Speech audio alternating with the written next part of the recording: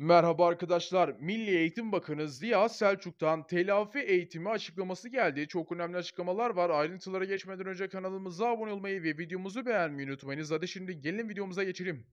Milli Eğitim Bakanı Ziya Selçuk bir buçuk yıllık telafi eğitimi dedi. Yaz dönemiyle birlikte bakanlığımız yaklaşık bir buçuk yıl sürecek olan UDEP sürecine de girmiş oluyor.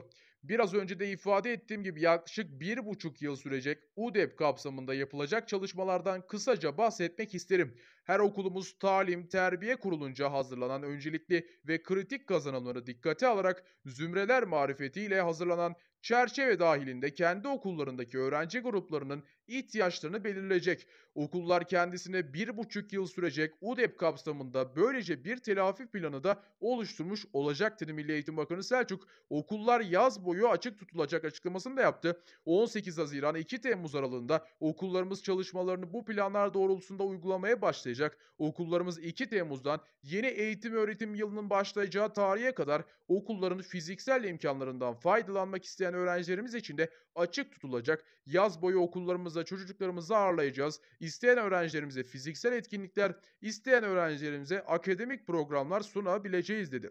Öğretmenlerimiz de bu programlarda öngörülen ders saati üzerinden görev alabilecekler. Tabi isterlerse dedi Milli Eğitim Bakanı Selçuk.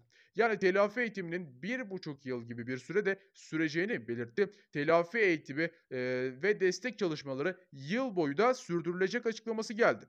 Videomuzun sonuna geldik. Kanalımıza abone olmayı ve videomuzu beğenmeyi unutmayınız. Görüşmek üzere. Kendinize iyi bakın. Sağlıcakla kalın.